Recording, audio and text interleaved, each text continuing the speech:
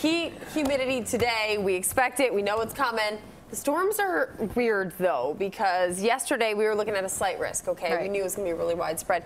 Well, now the futurecast is hardly picking up on anything because the coverage that we're expected to see, in other words, how many showers and storms will develop, will be very low. You're looking out over the taste. I know they hope it stays entirely dry today. We're going to kind of talk about what I'm thinking.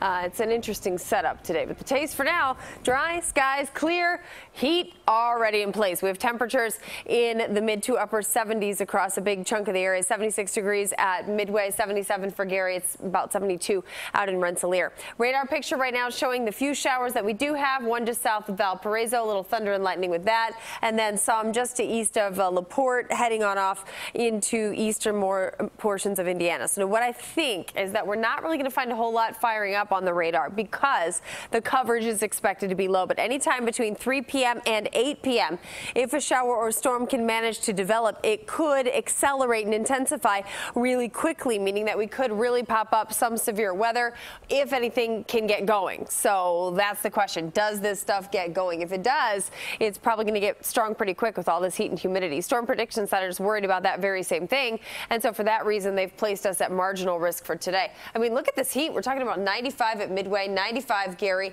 92 for O'Hare, 91 degrees Waukegan and DeKalb. Weather Watch forecast taking us out a little bit cooler, not much, but a little bit moving into the end of the week, and then we'll climb right back up again temperature wise to the 90s, Derek. So we're back and forth quite a bit, but it's full blown summer.